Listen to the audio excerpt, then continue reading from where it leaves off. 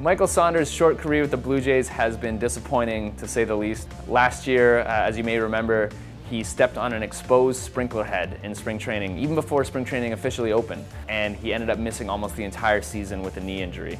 And then this year, again before spring training opened, he was nearly traded. The widely reported three-team deal that would have sent him to LA ended up falling through when one of the players involved failed a physical, but even though the trade didn't happen, it really showed a lack of confidence in Saunders being the everyday guy, at least on the part of uh, the Jays front office. But the native of Victoria, British Columbia has responded with a great spring thus far. He's been one of the Jays' most productive offensive players uh, in the early going in spring training, and he's really proving himself as the front runner to be the starting left fielder. Saunders has also emerged as a potential leadoff candidate for the Jays, which is something I explore in the story below. Wherever he hits in the lineup, Saunders was due to have some good luck, and that finally is starting to happen for him.